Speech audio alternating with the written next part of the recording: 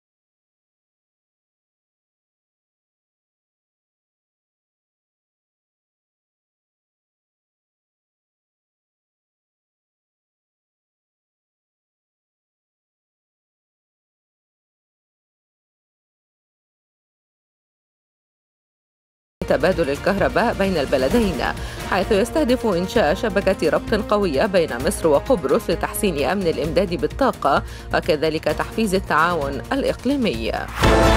أعلنت وزيرة التجارة والصناعة نيفين جامع أن الجناح المصري المشارك بفعاليات إكسبو 2020 دبي شهد منذ افتتاح المعرض إقبالا كبيرا وزوار في تزايد مضطرد.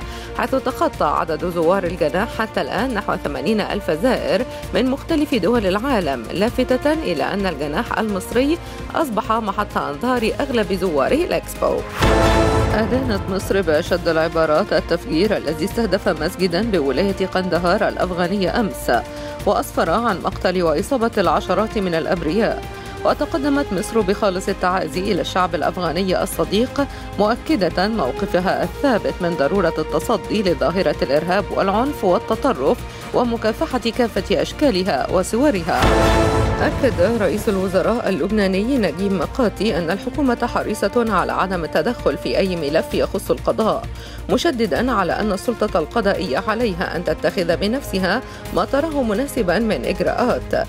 كما شدد مقاتي على ضرورة الإسراع في التحقيقات الجارية لكشف الملابسات الكاملة لأحداث الطيونة وإحالة المتسببين بهذه الأحداث إلى القضاء المختص. عثرت قوات الشرطة الاتحادية العراقية على مخبأ كبير للعبوات الناسفة وصواريخ كاتيوشا ومواد أخرى ضمن قطاع عمليات كركوك.